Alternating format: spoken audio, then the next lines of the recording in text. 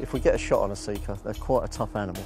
It's, it's not uncommon for them to take two shots to actually kill the animal. So follow it up as quickly as Yep, possible. if you're not 100% sure, take that up, take that second shot. And do they react with a good shot? Or Yep, yep. If, you, if, you, if the shot's good, we get a good reaction and I'll be happy with the shot and we can just let him run on. okay. Yep. And this here. That there, yep, that's typical um, scent marking.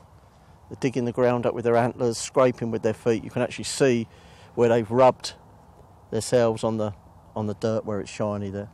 And what do they dig it with their paws or Yeah, it's yeah. the horns that are doing it? Yeah, that's both. Um, you've got horns where they flicked it up, and then um, scrapes with the feet.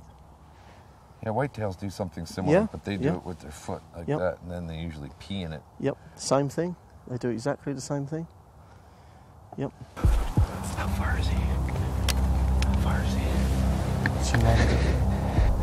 He's not broadside.